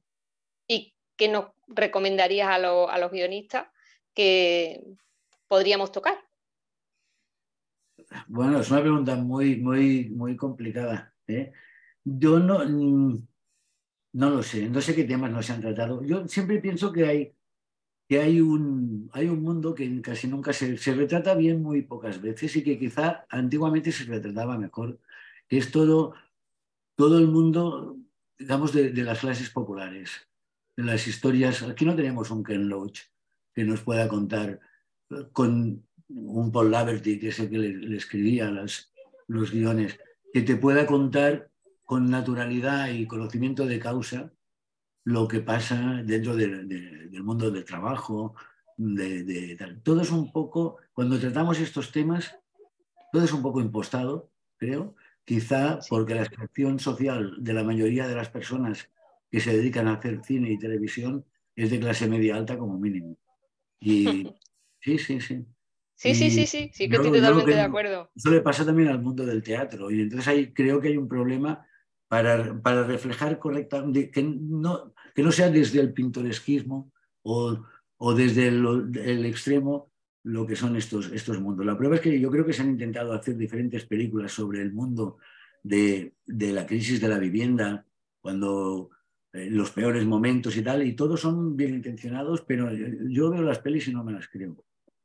Y bueno, por decir algo, como mínimo es lo que a mí me gustaría hacer, eh, acercarme a estos temas y, retratarlos y retratarlos bien, porque ahora se hace un poco de todo, ahora en el cine español y en la tele igual se han traspasado muchas fronteras, ahora se hace género, se hace cine de terror, se hace cine, se hace western, se hace de cualquier cosa y se hace con una calidad que es, que es muy alta. Lo único, y además, no sé, bueno, ahora estamos un poco en esta en esta época donde han salido muchas, muchos directores y sobre todo muchos directores, muchas directoras jóvenes, se ha oído en este aspecto, se huye del género y se hace un, tipo de cine que es más vivencial, reflexivo, sobre tal, que a mí personalmente no me acaba de, no me acaba de, gustar. Pero no, no, te, no, no, tengo ningún consejo, para, para dar a nadie, porque ya tengo yo suficiente con lo mío. Muy bien. Gracias, Laura. A ver, antes de que se me pase, Aurelio nos cuenta que tiene que entrar al cine, pero se queda con las ganas de intervenir, indicar sobre si esto es cosa del pasado. En España la Asociación contra la Tortura hoy sigue sacando informes y denuncias. Bueno, y posiblemente todo lo que ha pasado con el, con el Billy este, el Billy el niño y todo esto, ¿no? Que, que, bueno, Billy el niño es, es, un representante eh, extremo y fidedigno de, de esa época. Totalmente. El comisario Conesa y Billy el niño, pues eran reconocidos torturadores y en el caso de Billy el niño, él llevaba una vida a la mar de tranquila, era jefe de seguridad de una gran empresa del, del IBEX 35, o sea que estaba súper, súper colocado y no ha tenido ningún tipo de problema, solo al final de todo se le ha denunciado, pero un poco es lo que ha pasado un poco con el régimen, ha habido una gran impunidad, o sea, en nombre del consenso y de la paz eh, y la reconciliación, pues bueno, todo. Pero eh, ¿existen casos de tortura en España? Evidentemente, sí, claro. Sí, yo creo que, que, si se denuncian es porque existen. Merce. Hola, bueno, yo estoy de acuerdo con, lo que has explicado de que la primera parte de la película pues, refleja esta esperanza que todos teníamos ¿no? y que todos estábamos allí pues, pensando que, se podía luchar contra, que cuando se acabara la dictadura, pues que muchas cosas cambiarían. Bueno, luego pues esto no ha sido todo lo que esperábamos, pero sí que es verdad que había como una, una ilusión que ahora pues mm, es difícil de, de encontrar, ¿no? A mí la película, bueno, pues me ha gustado porque pues refleja un momento, aunque me coge así un poco ya bastante todavía mm, casi adolescente y tal, pero un momento de mi historia que, que me interesaba. Y sobre lo que ha dicho Auro, pues de que a lo mejor, mm, bueno, si la policía era extrema o no, lo eran y tenían muy mala baba, porque recuerdo que fuimos al entierro en Montjuic y que nos dijeron, esperaros un momento, estaba, el cementerio de Montjuic cerrado y nos dijeron, esperaros un momento mm, que eh, enseguida os dejaremos entrar, ¿no? Y pues todo el mundo allí con una flor esperando a ver, ¿no? Si ya podíamos entrar y tal, ¿no? Y entonces, pues nada, esperar fue esperar a que llegara a muchos más efectivos de la policía y empezaron, nos dieron una paliza que estuvimos corriendo desde el cementerio de Montjuic hasta el puerto de Barcelona. Hay una distancia. ¿eh? Pues corriendo, porque ellos venían allí, bueno, iban dando, pues repartiendo a todo, o sea que nos engañaron totalmente con, esta historia, ¿no? Y bueno, entrando ya en cosas de la película, yo, es verdad que he encontrado, entro ya en detalles, ¿no?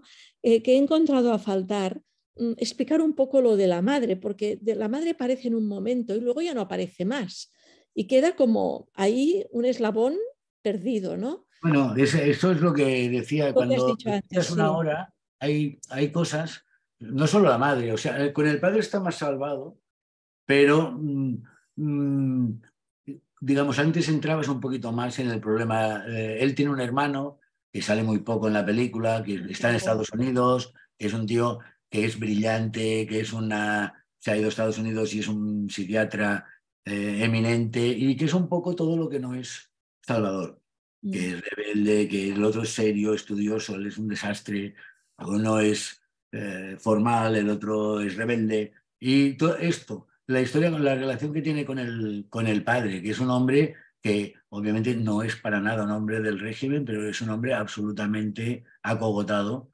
y con, que ha perdido la capacidad de rebelarse y de plantar cara a nada y que cree que nada tiene ese sentido.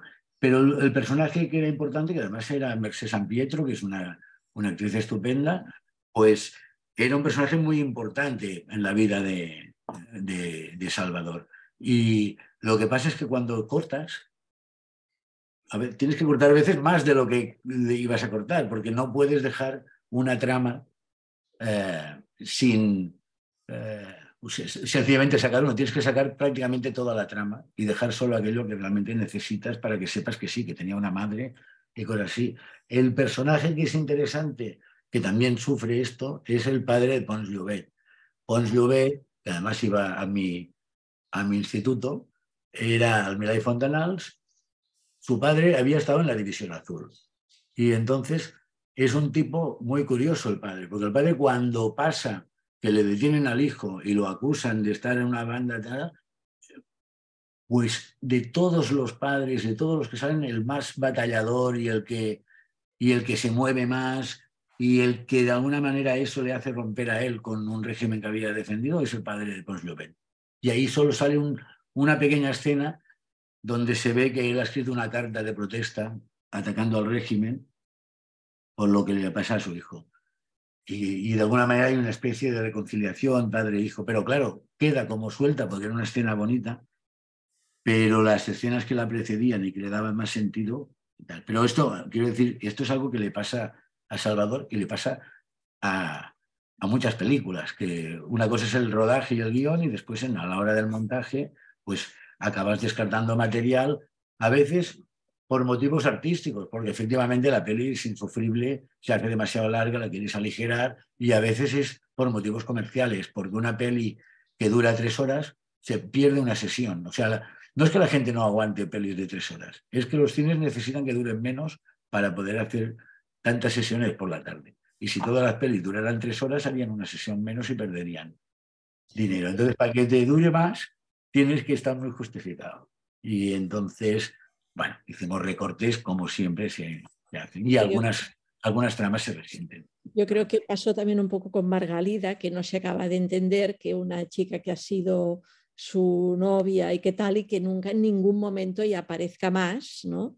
Y, y luego la trama de la pistola, a mí, a mí me habría gustado que quedara más claro de que verdaderamente asesinaban lo asesinaban y habiendo unas dudas más que, más que razonables, ¿no? Porque para que se viera que el protagonista era el escarmiento, ¿no? que ya se veía y que la gente que lo quería saber ya lo sabía, pero realmente el protagonista es, vamos a escarmentar a este y, y entonces si lo de la pistola, la duda, esa duda tan importante que dentro del mundillo todo el mundo lo sabíamos, pero que, pero que mucha gente pues no, pues a mí me habría gustado que esto tomara un poco más. En, la peli se recoge porque van a hablar con él, sale cuando van a hablar con el médico y el médico dice, como mínimo tiene siete, ¿no? Y después dicen, no nos han dejado hacerle la autopsia, pero son, son, informaciones que las dejas fuera, tienes que acabarlas dejando fuera de la acción porque si no la peli no te la acabas. Y entonces, porque ahí eso es otra historia. se podía haber centrado la peli en la investigación que hay para conseguir pruebas, para demostrar, pero la peli te acaba contando otra cosa, dejando, intentando dejar constancia de que no, se, no hubo ningún interés y que, la, y bueno, y estas son cosas que, se dicen, que es una decisión que ya está tomada. Ya está tomada esa decisión. Una vez se ha cargado un poli y y en la situación en la que están, pues no, no tiene mucha salida. Y, luego hay una cosa que es una anécdota que es sobre la profesión o cuando tú dabas clases de guion, que a mí, no sé, un día contaste, yo no sé si eso lo hacías, pues ay, lo digo o no lo digo, lo de la caja. Bueno, sí, sí. Bueno, pero es igual, no pasa nada. No lo digo, no. No, traía una caja y la, como empaquetada y entonces la dejaba en la mesa y eso era para hablar de las expectativas. ¿No? Y claro, al final tenía que abrir la caja y enseñar lo que, lo que había dentro.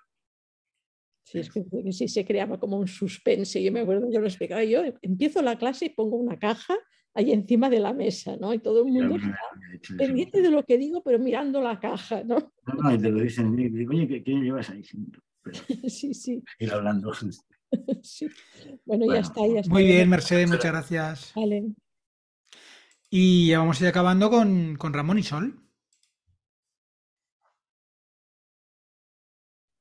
Hola, ¿qué hay? Buenas tardes. Hola. Eh, mira, eh, aparte de todo lo que habéis dicho, estoy totalmente, bueno, es evidente que estoy de acuerdo con ello y que lo habéis explicado muy bien. Yo quería hacer un pequeño comentario, sobre todo en el principio de la película, cuando hay una manifestación y están dando palos la policía, eh, se ven unos carteles que dice, quédate con este momento. Y algo, algo, algo así, sí. Algo así, se, que se ven unos carteles en varias veces que la policía está dando palos, dice, quédate con este momento, quédate con este momento, quédate con este momento. Que es como decía el espectador de qué va la historia. O sea, quédate con este momento, que la película va de, va, va de esto, va de la pérdida de la inocencia que van a tener estos, estos, estos personajes. Que, eso se refleja en la última parte de la película, cuando se dan él, Salvador, se da cuenta, creo yo, se da cuenta de que eh, todo aquello por lo que habían luchado se va al traste porque, como tú bien has dicho, nadie les apoya. Nadie les apoya, entonces dice, eh, ahí él ya pienso que pierde, eh, pierde la, no, no era solo la inocencia o la infancia, como has comentado, sino que pierde la ilusión por la vida. Creo yo, creo yo que va por ahí, ¿no? Sí, eh, de hecho, sus compañeros, la única acción que, que, se hace es una cosa, es una acción completamente absurda que sale en la película, que son los que están en Francia que se van al consulado español y ametrallan la bandera, y huyen, paran el coche y se ponen a gritar en el suelo y se ponen a llorar. Se ponen a gritar como, como, o sea, con una cosa que no, no, lo he entendido. Ah, ah. Es desesperación. Sí, la desesperación. La desesperación sí, sí, que no sirve para nada. Yo también pienso que el que es, y que igual nos pasaba a todos un poco, yo, los del MIL teorizaban sobre lo que iba a pasar, sobre la clase trabajadora, sobre al margen de los sindicatos y tal, pero yo creo que había algo en ellos que era una inmediatez que los empujaba. Es decir, no, eh, desde el momento en que ellos toman esta opción es como si ya hubieran hecho ellos la revolución, ya, que se al margen. No sé si ellos esperaban de que se iba a realizar. Es una ida, es como una huida como un poco inconsciente y desesperada. Después ves un poco lo que ha sido de los que, de los que subieron. Eh, y esto, mira, lo quiero comentar porque me, ha, llamado la, atención qué pasó con ellos, ¿no? Porque hay uno que se hizo eh, anticuario. ¿eh? Tuvo problemas, creo, con temas de falsificación. Su hermano, que tiene un hotel y, en las montañas, cerca de la frontera, por donde pasaban y salían. El otro es piloto de helicóptero, ¿no? Ninguno de ellos es asalariado. Todos se han buscado la vida para ser, de alguna manera, los dueños de, sí, mismo. Em, los franceses. Los franceses son los, más dramáticos de todo. Hay dos. ¿eh? Uno moreno que tiene menos protagonismo, que es Cricri, y este muchacho, al cabo de pocos años, se suicidó. No sé el motivo ni nada. Y el otro, Jean-Marc se ha pasado toda la vida en la cárcel. En una cárcel de máxima seguridad en Francia, porque secuestró y mató a un coronel de la, de la OTAN. Y este es uno que llevó hasta las últimas consecuencias, pues un poco lo que tenía él en, la cabeza.